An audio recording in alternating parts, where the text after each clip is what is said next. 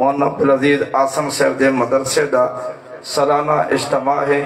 हज़रत मौलाना मोहम्मद याया अब्बासी से हज़रत मौलाना मोहबुल्ला समदानी से यही को जलसा यदि पुराने सर्द खाना जाम इस्लामे के पिछा अमरीद आने देती सी और बाद नमाज़ मगरब गदई शरीफ के अंदर ये बैंक के पिछले पासे गली हाफिज अल्लाह साहब की मस्जिद के अंदर हज़रत मौलाना अब्दुल मालिक सिद्दीकी से और पीर गुलाम जाफिर से अठारह हजारी, अल्लाह नवाज़ सरगानी से ये हजरात तशरीफ़ के नासन इश्तहार बाहर लगे खड़े पढ़ गिन सो।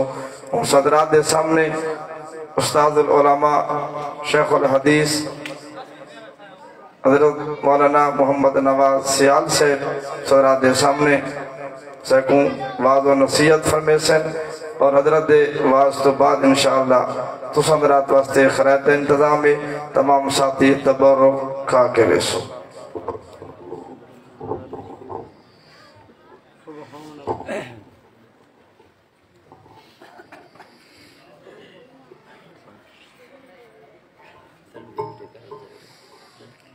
अल्हम्दुलिल्लाह वकफा वसलाम अला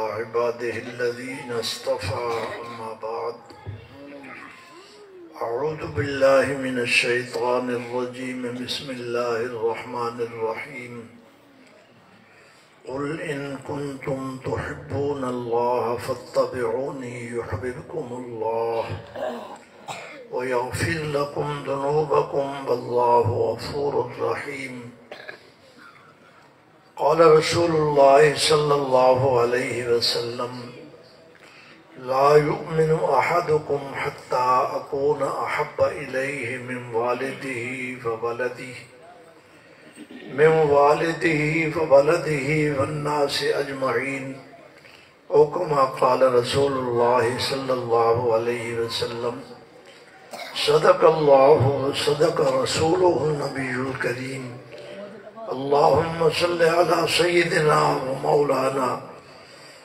मोहम्मद वाला आलि वसहबी वबारक वसलिम काफ़ी देर से आप हजरात जलसा गाह में तशरीफ़ फरमा है मुझसे पहले मुल्क के माया नाज खतीब जनाब नदीम साहब आपके सामने सीरत की खुशबू आपको दे गए हैं। देर काफ़ी हो गई है। ज़्यादा देर तक आप हजरात को बिठाना मुनासिब नहीं है। मैंने तकरीर ज़्यादा नहीं करनी। मैं चंद मिनटों में एक आध बात करके फिर इंशाल्लाह हम सारे मिलकर अल्लाह का ज़िक्र करेंगे। ज़िक्र के बाद दुआ होगी, फिर आप लंगर खाएँगे। रसूल पाक सल्लल्लाहु अलैहि वसल्लम, जब दुनिया में तशरीफ़ लाए। तो अल्लाह ने आपको एक निज़ाम दिया। एक आइन दिया। ज़िंदगी गुजारने के तरीके दिए। जिसको इस्लाम कहते हैं। आपकी तशरीफ़ आवरी से पहले आलम के अंदर बिल्कुल अंधेरा था। जब अंधेरा होता है तो आदमी को कुछ नज़र नहीं आता। आगे कांटा पड़ा है, आगे सांप है, बिच्छू है, जहाँ चाहता है पाँव रख देता है, जहाँ चाहता है हाथ मिला देता है। नुकसान उठाता है अंधेरे की वजह से। ये इंसानियत जहालत के अंधेरे में नुकसान उठा रही थी, जहन्नम का रास्ता चल रही थी, दुनिया में बदअमनी थी, दुनिया में इंसाफ तलाश करने से नहीं मिलता था। दुनिया में जो ताकतवर था, वो कमज़ोर को खाए जा रहा था। अल्लाह को इस सर ज़मीन पर तरस आया और अपना महबूब भेज दिया और महबूब को ऐसा निज़ाम दिया जिसमें इंसाफ भी है जिसमें खैर खाही भी है, जिसमें ईसार भी है, जिसमें हमदर्दी भी है, जिसके अंदर दुनिया में रहने के तरीके भी हैं, जिसमें औलाद पर शफकत भी है, जिसमें बड़ू का अदब भी है, जिसमें अल्लाह की पहचान भी है, जिसमें बड़े और छोटे की तमीज भी है, अल्हम्दुलिल्लाह, वही माशरा माशरे में तारीकी थी। अंधेरा था। किसी की कोई पहचान नहीं थी। अल्लाह के नबी ने तेईस साल में उस माशरे को ऐसा मुकदस बना दिया कि सारा दिन एक आदमी कमाता है, शाम को अपने बच्चों से पहले पड़ोसियों को पूछता है कि पड़ोस में अगर कोई भूखा पड़ा हो तो पहले मेरा पड़ोसी खाएगा, फिर मेरा बच्चा खाएगा। ये निज़ाम कौन लाया? आप बोले, थके हुए हैं। ये निज़ाम कौन लाया? अल्लाह के नबी लाए। दुनिया में लोग बैठते हैं, मशवरे करते हैं, दानिश्वर जमा होते हैं इसम्बलियों का इजलास होते हैं और उसमें कवानीन बनाते हैं। कि लोग दुनिया में सुकून की ज़िंदगी गुजारें, खुशहाल हो जाएँ, पुरसकून वक़्त गुजारें। अल्लाह की कसम, कायनात के जितने इंसान भी इस दुनिया में बैठकर इंसानों की फलाह बहबूद के तरीके सोचते हैं उनको कुछ अरसे के बाद अपने तरीके बदलने पड़ते हैं। लेकिन अल्लाह ने जो अपने महबूब को तरीका कार दिया है ज़िंदगी गुजारने के उसूल दिए हैं, आज चौदह सौ साल गुजर गए हैं, किसी एक तरीके को भी बदलने की ज़रूरत नहीं पड़ी और क्यामत की सुबह हो जाएगी। कोई कौम हो, कोई कबीला हो, कोई जमाना हो, कोई इलाका हो, यही कानून उनके लिए काफ़ी है।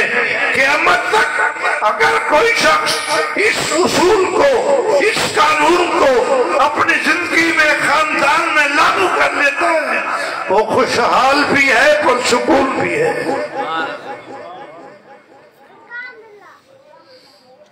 आप सोच रहे होंगे कि बहुत सारे लोग हमने देखे हैं। दाढ़ी भी रखी हुई है। मस्जिद में हाजिरी भी देते हैं। हाथ में तस्वीर भी है। बदाहिर उनका नक्शा दीनदारों वाला है।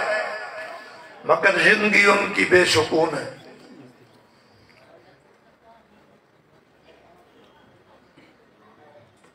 बात असल ये है कि जो लोग दीनदारी के नक्शे में नज़र आते हैं, लेकिन ज़िंदगी उनकी बेसुकून है, वो दीन के तमाम उसूलों पर अमल नहीं कर रहे हैं। मैं एक मिसाल देता हूँ, अगर बात आपकी समझ में आ जाए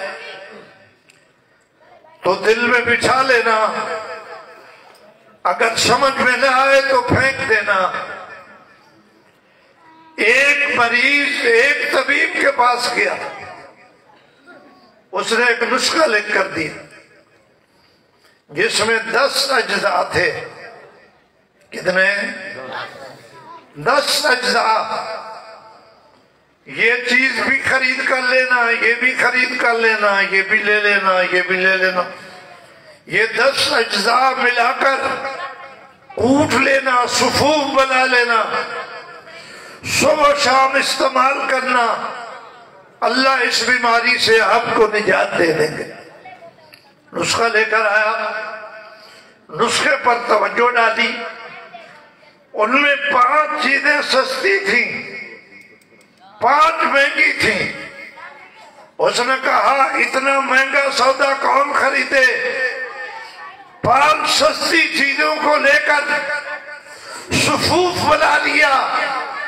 एक महीने तक इस्तेमाल करता रहा। बीमारी में कोई शिफा नहीं आई। शिकायत लेकर तबीब के पास गया। का वाला, आपने नुस्खा दिया। मैंने बाज़ार से खरीद किया सुफूफ बनाई, एक महीना इस्तेमाल किया, फ़ायदा तो कोई नहीं हुआ। मैं आपसे पूछता हूँ, इसमें कसूर किसका है? आप नाराज़ तो नहीं बैठे, फिर बोलते क्यों नहीं? तबीब का तबीब का कसूर है। तबीब के नुस्खे का कसूर है या मरीज़ का कसूर है? मरीज़ का कसूर है। इस्लाम हमें नमाज़ पढ़ने का तरीका भी सिखाता है। इस्लाम हमें खुशी मनाने का तरीका भी सिखाता है। इस्लाम हमें इधार गम का तरीका भी देता है। नबी का दीन हमें तिजारत करने के उसूल भी देता है। नबी की शरीयत हमें हुकूमत चलाने के उसूल भी देती है। हम जब मस्जिद में आते हैं तो मोहम्मदी होते हैं। जब बाज़ार में जाते हैं तो यूरोपियन होते हैं। ऐसे है। हम जब हुकूमत की कुर्सी पे बैठते हैं तो हम मोहम्मदी शरीयत को भूल जाते हैं। कभी हम यूरोप का कुर्जा खटखटाते हैं, कभी रशिया के दरवाजे पे जाते हैं, कभी चाइना के दरवाजे पे जाते हैं, कभी फ्रांस से कोई उसूल लेकर आते हैं। हमारी हुकूमत के उसूल मोहम्मदी शरीयत के खिलाफ है, बाज़ार की तिजारत मोहम्मदी शरीयत के खिलाफ है। अगर हम वही शरीयत जो दस साल अल्लाह के नबी ने मदीने में नाफिज करती थी, जो चालीस साल खुलफा राशिदीन ने नाफिज करती थी, अगर हम उसको सौ फ़ीसद ले लें तो इंशाला वही बहार आग भी है। इस्लाम ज़िंदा है कुरान ज़िंदा है, मोहम्मद की शरीयत ज़िंदा है। हम तकसीम कर देते हैं अफतू में नूना बेबादल किताबे व तकफरून बेबाज मीठा मीठा ले लेते हैं, कड़वा कड़वा छोड़ देते हैं। अगर हम पूरी शरीयत को ले लें तो वही सुकून जो सिद्दीक को मिला था, जो फारूक को मिला था, जो उस्मान को मिला था, जो बिलाल को मिला था, जो अब्दुल्ला को मिला था, जो अब्दुल्ला बिन उमर को मिला था, जो सवा लाख को मिला था, आज इस उम्मत के लिए वही सुकून मौजूद है। अल्लाह हमें शरीयत पर अमल करने की तौफीक नसीब फरमाए। हुजूर के साहबा किसी ज़िले में जाते थे, तिजारत करते थे। जब वहाँ से उस इलाके से दूसरे इलाके की तरफ़ मुंतकिल होने का इरादा करते तो उस इलाके के गैर मुस्लिम हाथ बांधते थे कि आपकी तिजारत से हमें बड़ा मज़ा आया है। यही उसूल हमें भी सिखा के जाओ। एक एक साहबी की तिजारत ने पूरे ज़िले की काया पलट दी। इसलिए कि उसमें मोहम्मदी खुशबू थी। ये उसूल अल्लाह के उतारे हुए हैं। हमारे लोग जो बैठकर उसूल बनाते हैं उनको हाल का पता है मुस्तकबिल का पता नहीं है। लेकिन जो जब्त हयात, अल्लाह ने अपने महबूब पे उतारा है, वो अल्लाह हाल को भी जानता है, आने वाले जमाने को भी जानता है। सारी कौमों को जानता है।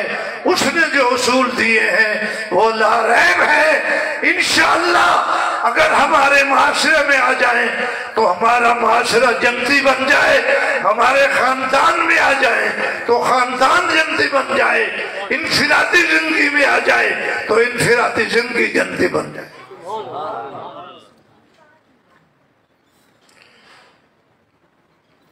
एक आदमी ने मुझे आप पर तरस भी आ रहा है। आपको मेरे ऊपर तरस आ रहा होगा कि 11 बजे के बाद स्टेज पर बैठा हूँ। मुझे आप पर तरस आ रहा है कि जो कुछ आप घर से खाकर आए थे, वो तो खत्म हो गया। अब आप लंगर के इंतज़ार में बैठे लंगर ठंडा हो रहा है। अगर आप मुझे इजाज़त देते हैं तो चंद मिनट और भी मैं बोल लेता हूँ। अगर इजाज़त नहीं देते तो ज़िक्र कर लेते हैं। इजाज़त है आपको इजाज़त है। मैंने तो आपको आशक पाया है। इसके मुस्तफ़ा भी है इसके रब मुस्तफ़ा भी है। और यही दो इश्क जन्नत में ले जाएँगे। यही दो मोहब्बतें इंशाअल्लाह जन्नत में ले जाएँगी। अल्लाह हमें अपनी मोहब्बत भी दे, अपने महबूब की मोहब्बत भी दे। और मोहब्बत दे तो सच्ची मोहब्बत दे। जुबानी कलामी ना। जुबानी कलामी तो बहुत सारे आशिक फिरते हैं। अल्लाह हमें सच्ची मोहब्बत दे जो दिल में हो।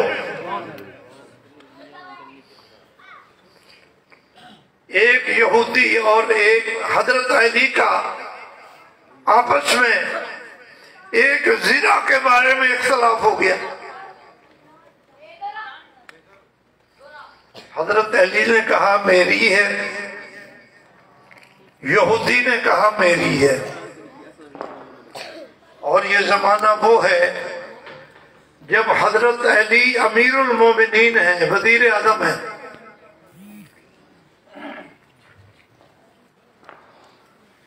यूरोप वाले प्रोपगंडा करते हैं कि मुसलमान अकलियतों का ख्याल नहीं रखते, गैर मुस्लिमों का ख्याल नहीं रखते। आओ, मैं अली का वाक्य आपको सुना रहा हूँ, जिसकी जूतियों में हम बैठने वाले हैं। यहूदी होकर वज़ीर आज़म पे दावा कर रहा है कि ये जिला मेरी है अली ने किसी पुलिस वाले को नहीं कहा कि इससे दिला छीन लो और जेल में डाल दो। हज़रत अली ने कहा, तेरा और मेरा फैसला हमारा काजी करेगा। काजी मुकर्रर तो अली ने किया हुआ था। काजी फैसला करेगा। इस्लाम ये इंसाफ बताता है। कादी के पास पहुँच गए। कादी ने कहा हज़रत अली से, कि जनाब, अपने गवाह पेश करो। अगर जिला आपकी है तो गवाह लाओ।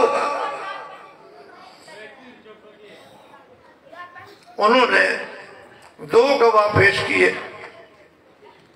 लेकिन उनमें एक गवाह आपका बेटा था। काजी ने कहा, बेटे की गवाही मैं कबूल नहीं करता। जब आपके पास गवाह नहीं है तो फैसला यहूदी के हक में होगा। जीरा उठाकर यहूदी के हवाले कर दी गई। हज़रत अली ने वज़ीर आलम होने के बावजूद अपने माताहत काजी का फैसला कबूल किया। कहा, बिल्कुल मुझे कबूल है। जीरा यहूदी के हवाले कर दी। यहूदी जब अदालत से बाहर आया अली के कदमों में गिर गया। कहा अलीउल मुर्तदा आपकी है मेरी नहीं है। जीरा मेरी नहीं है। जीरा आपकी है।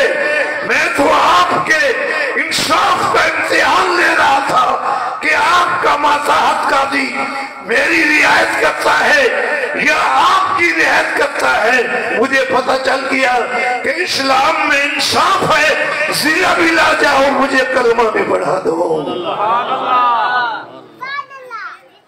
अल्लाह की कसम, आज अगर हम वही मोहम्मदी शरीयत अपने माशरे में लाए तो दुनिया दौड़ दौड़ कर इस्लाम में दाखिल होगी।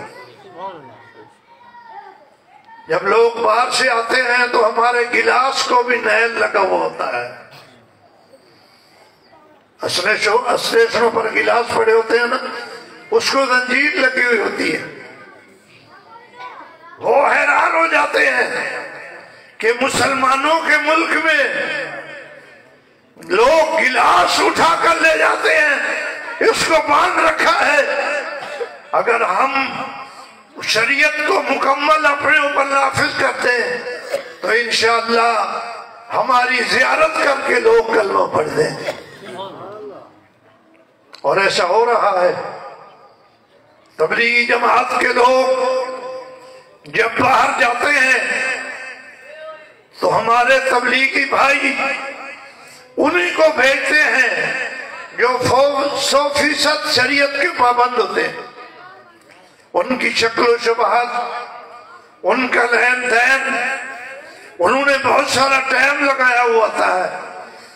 ये जब किसी स्टेशन पर खड़े होकर अदान देते हैं, अल्लाह अकबर अल्लाह अकबर तो लोग इकट्ठे होकर इनकी अदान सुनते हैं।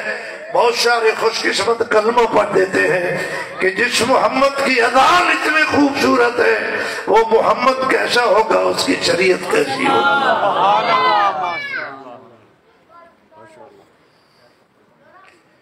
अब्दुल बासित रूस में, चाइना में कई दफ़ा कुरान की तिलावत करने के लिए गया। उसकी तिलावत सुनकर बहुत सारे लोगों ने कलमा पढ़ दिया। कुरान की तासीर है। इस शरीयत की तासीर है। हम खुद रुकावट बने हुए हैं दूसरे लोगों के इस्लाम में आने के लिए। अगर हम शरीयत के ऊपर आ जाए वो मोहम्मदी कानून को अपने ऊपर लागू कर ले तो इंशाला बहुत जल्द पूरी दुनिया में इस्लाम का झंडा लहरा जाएगा और जगह जगह इस्लाम के नारे लग जाएँगे।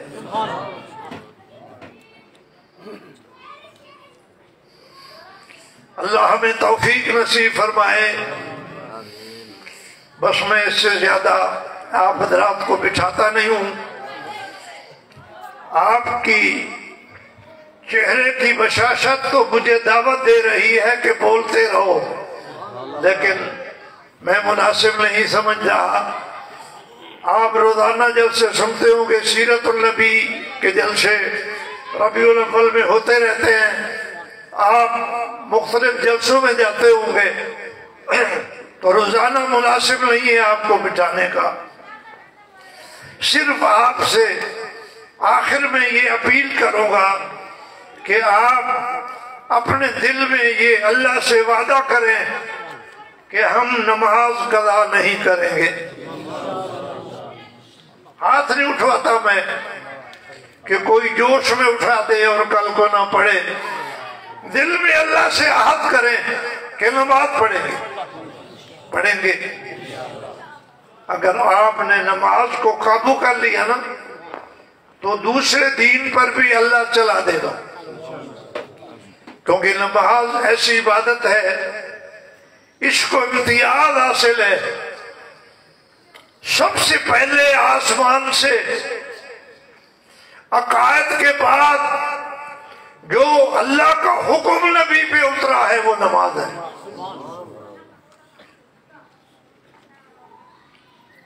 मेराज वाली रात नमाज़ आई, जक़ात भी बाद में आई, हज भी बाद में आई, रोज़े भी बाद में आए। बहुत सारे अकामात बाद में आए। सबसे पहले नमाज़ आई। इसलिए कि जिसकी नमाज़ ठीक हो गई, उसका सारा दीन ठीक हो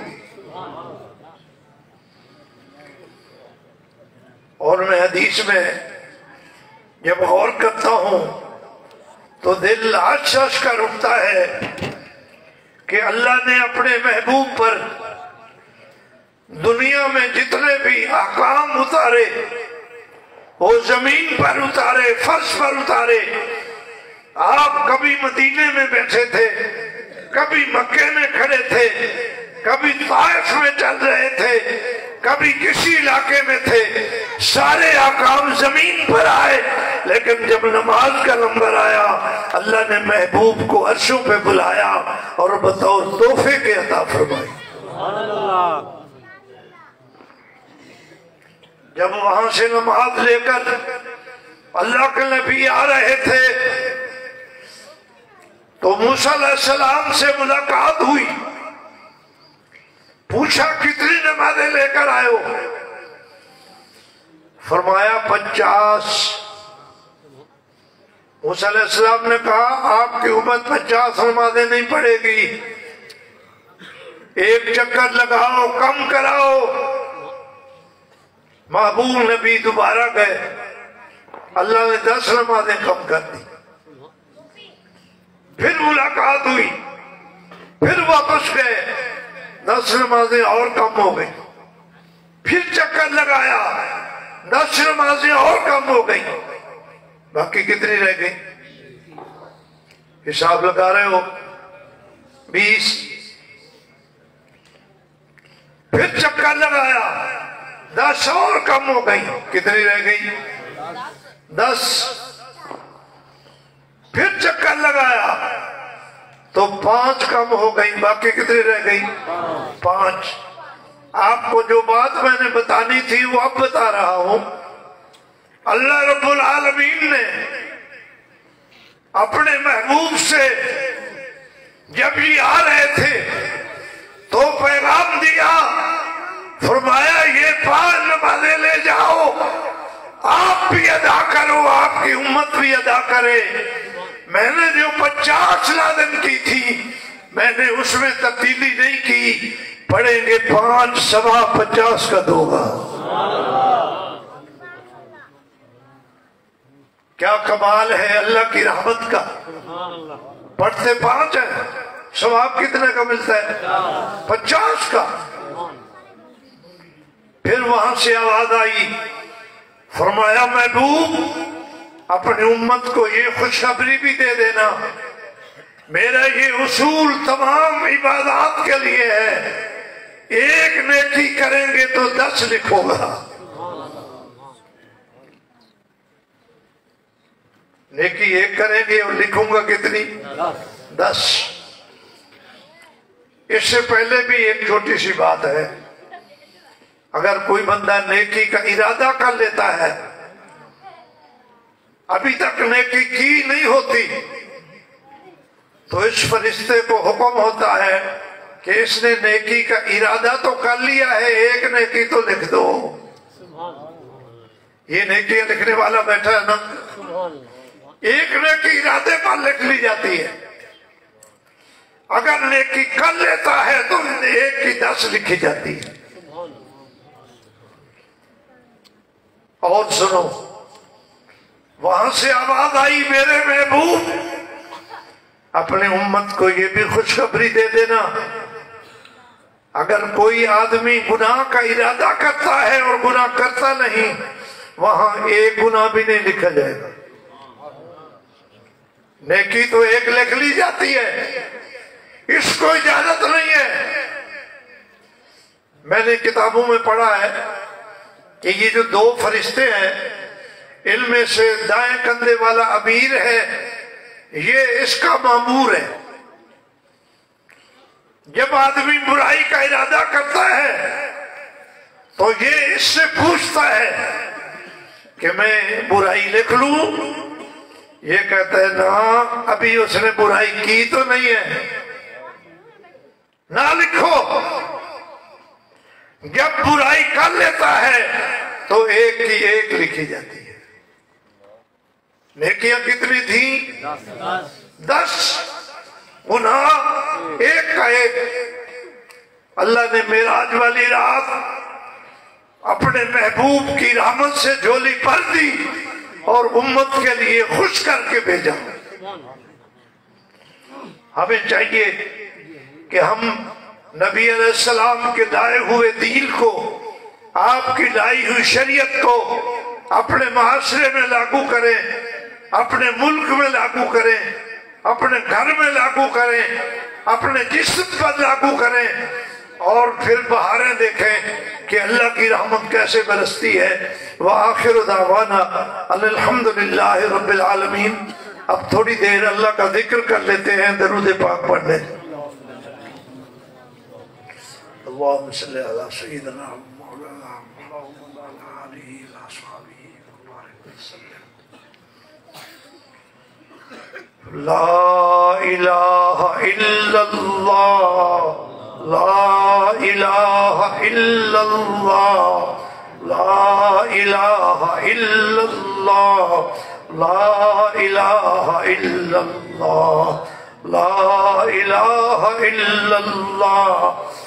इल्लल्लाह ला इलाहा इल्लल्लाह ला इलाहा इल्लल्लाह ला इलाहा इल्लल्लाह ला इलाहा इल्लल्लाह ला इलाहा इल्लल्लाह ला इलाहा इल्लल्लाह ला इलाहा इल्लल्लाह ला इलाहा इल्लल्लाह ला इलाहा इल्लल्लाह ला इलाहा इल्लल्लाह ला इलाहा इल्लल्लाह ला इलाहा इल्लल्लाह, ला इलाहा इल्लल्लाह।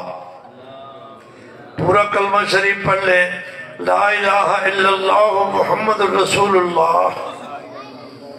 जिसको जिससे मोहब्बत होती है, आदमी उसका नाम शौक से लेता है। हम सारे अल्लाह से मोहब्बत करते हैं।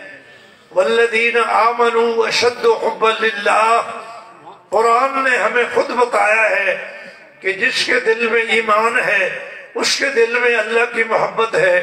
तो फिर आप शर्मा क्यों रहे हैं?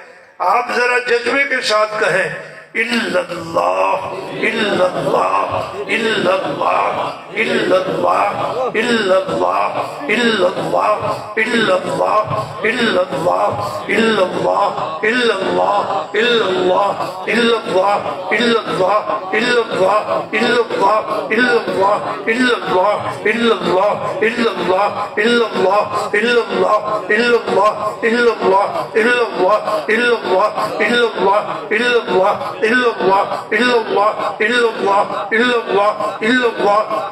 illallah illallah illallah illallah illallah illallah illallah illallah illallah illallah illallah illallah illallah illallah illallah Allah,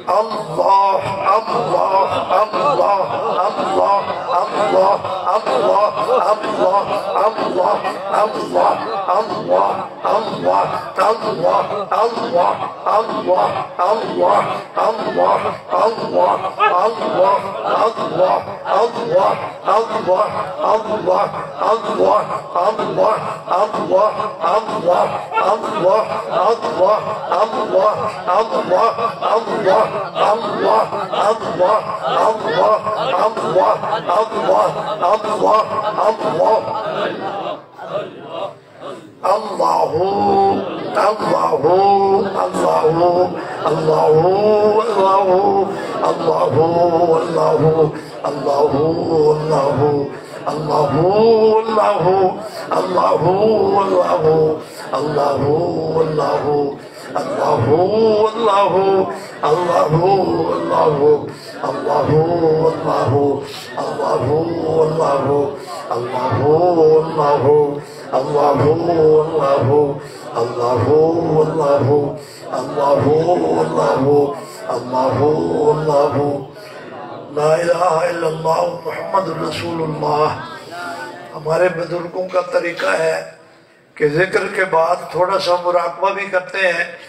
आँखें बंद करके, दिल पर तवज्जो डालकर ये तस्वुर जमाए कि अल्लाह की रहमत हुजूर अकरम वसल्लम के दिल मुबारक से होकर हमारे दिलों में आ रही है